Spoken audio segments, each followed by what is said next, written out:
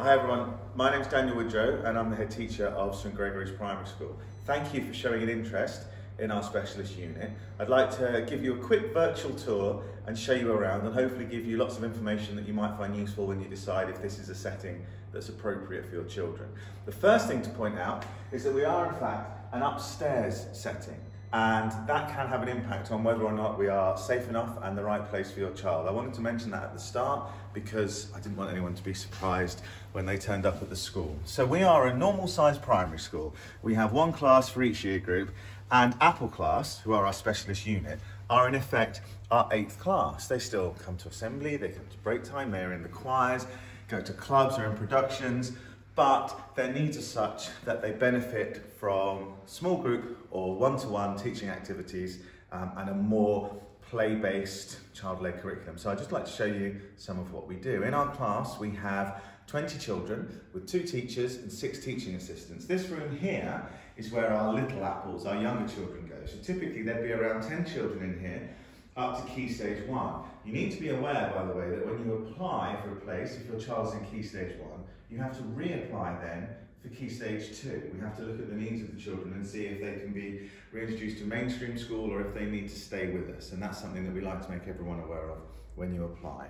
So in here, the children will have some one-to-one -one activities, short focused activities, teacher-led input, but for a lot of the time, there are a range of activities set up that they can choose from. This is the sort of messy play area, if you like. So typically in here, there will be sand, water, foam, clay, a lot of sensory play that the children can use while they're in here. There will be adults as well, so the children are supervised and that their learning can be led, but they get to choose the activities that they do.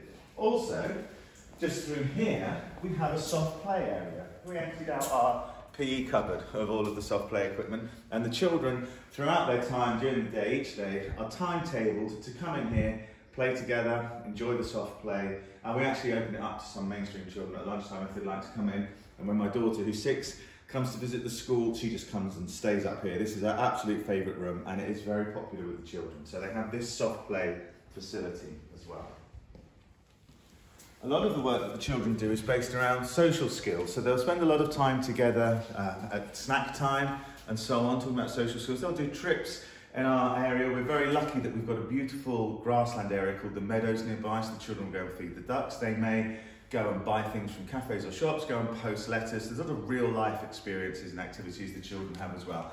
And the best thing that we do as a school all year is take the children from our specialist unit to the pantomime at the New Wolsey Theatre.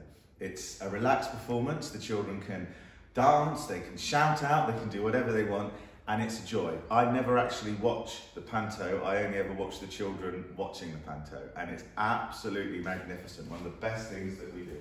So, just through here is the second teaching room.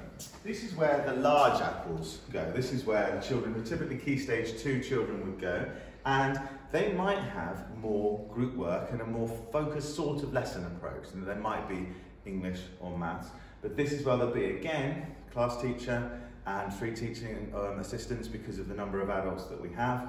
But lots of work will go on here. There can typically be one topic for a week. It might be a letter sound, it might be a story, something like the Three Little Pigs. Fireworks have been very popular as I record this because it's the 5th of November. But we also have one other room that I'd like to show you, which is our sensory room.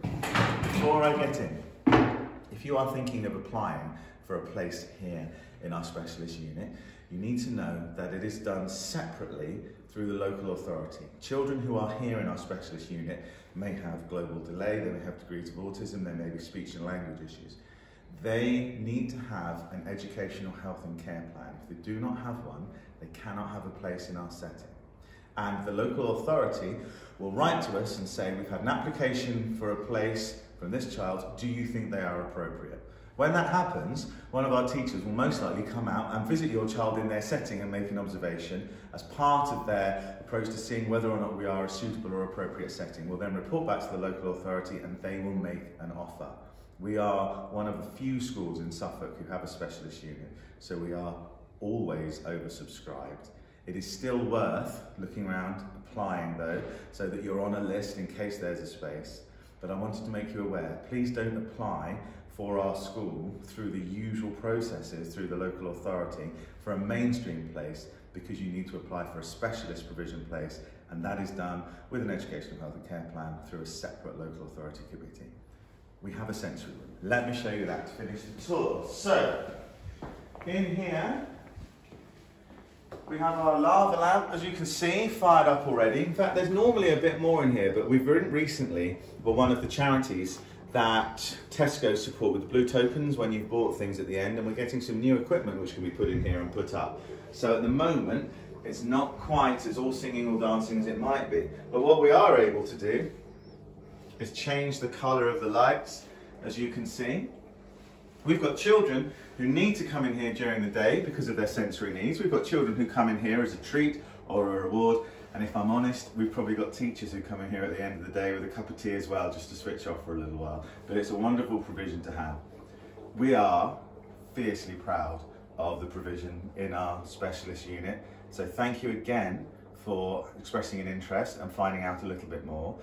If you do have any questions about the setting before you make an application, then feel free to give this a uh, call or email the school on admin at st-gregory.suffolk.sch.uk. We'll be happy to answer your questions. But for now, that is just a tiny snapshot of the amazing work that happens here in Apple Class. Thank you very much for your time.